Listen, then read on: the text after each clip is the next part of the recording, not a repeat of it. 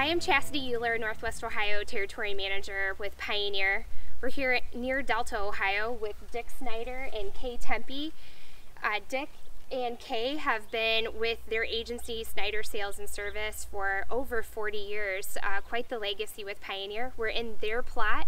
And Dick, you want to talk a little bit about your growing season here during the middle of July? You got a little bit of rain last Just a little bit. It varies across the area. We had guys that had four inches. We had guys that had just a few tenths. So it's been a challenging summer after a pretty pretty nice planting season, and then we had a lot of replant that went along with it afterwards. It kind of took away from the niceness of the planting season, but Yeah, and Kay, you are such a big part of the agency with all of the plots and the harvesting. And tell us a little bit about how many entries you have in this plot and when it was planted. It was planted April 24th, and um, it was about 35,000 um, for our population, and I think we have a total of 40, counting all of our checkers, of all of our plot entries for this plot. So we thank uh, Kay and Dick for planting the mini plots and research that they do um, for us here. And we also have John Schoenhals, our field agronomist for Northwest Ohio, is going to give us an agronomy update. So the corn that we're standing in is just a few days away from tassel and silking. Many of fields in the area are starting to reach that point. Some things to watch for we're noticing in those fields. First of all, some pest pressure. Um, Japanese beetles, rootworm adults, even some flea beetles can be found in cornfields. Main concern, be watching for silk clipping, and um, if that starts to become an issue, or those silks are clipped back to a half inch or less with pollination still occurring, um, a, a insecticide to make sure pollination can continue might be warranted. I expect that would be pretty limited, but there has been some reports of silk clipping. Fungicide applications become um, a topic to consider around the tasseling and silking time frame.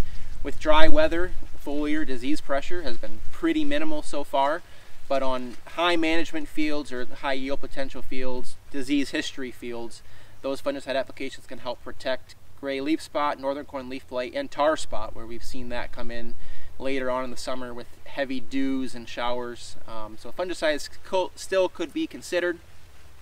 In the soybeans, very similar type things, minor pest pressure so far. The threshold for Japanese beetle or flea beetle feeding is about 15% defoliation at the reproductive stages. Most fields are far away from that threshold still at this point, and timing for fungicides on soybeans would be best at the late R3 or R4 growth stage. Again, pressure is low with diseases, but some growers do still see consistent benefits to those fungicide applications even in a drier summer. Chasitie is going to talk a little bit about these products that we're standing by. Pretty excited about. Yes, so a new product that we introduced last year in 2019, unfortunately didn't get to see across a lot of acres due to all the prevent plant was 963, P0963 AM. And then we're also standing right in between P0935 AM. These are a great package. Um, one of these these products both can fit across a lot of our different soil types across Ohio, especially those really heavier, heavy clay type soil types, more defensive characteristics for strong early season emergence, that excellent pioneer grain quality that we've all known and come to love, and then also 963 in particular brings awesome late season plant health and excellent stalks. So two great hybrids to definitely make sure that you mark down when your Pioneer rep comes to visit you and uh, brings you a new seed guide to talk over some of the great products that we have to offer for the 2021 planting season. So thank you and look forward to talking to you next week. That concludes this Pioneer Agronomy video podcast. Visit our page on pioneer.com and follow us on Twitter and Facebook for more agronomy insights.